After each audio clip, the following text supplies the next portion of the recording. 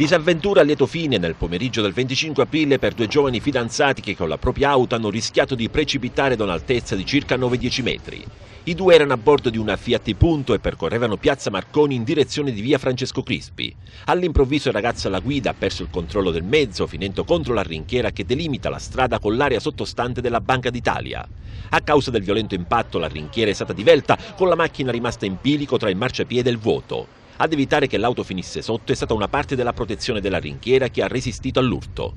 Il conducente e la sua ragazza sono stati trovati dai soccorritori in stato di shock ma fortunatamente illesi.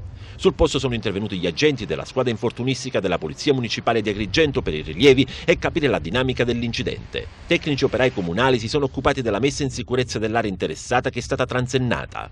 Un episodio simile lo scorso anno, quando nello stesso punto un'auto di grossa cilindrata, a causa dell'alta velocità, si schiantò contro un albero davanti all'ingresso della banca.